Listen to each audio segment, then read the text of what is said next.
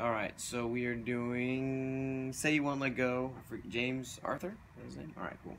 So really, the whole song is sixth fret on the E, eighth fret on the A, third fret on the E, sixth fret on the A.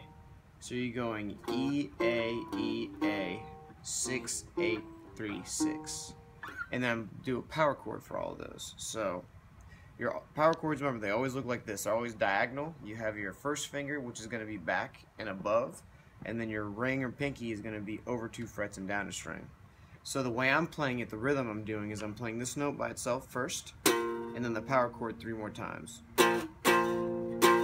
And after the third time, I'm going to let it ring, so. So, real slow. One, two, three,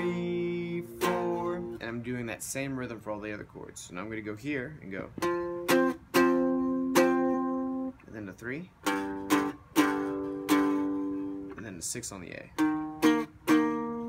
Whole thing a little slow, but in time. Eight.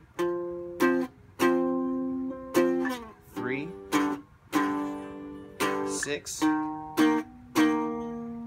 That's the whole thing.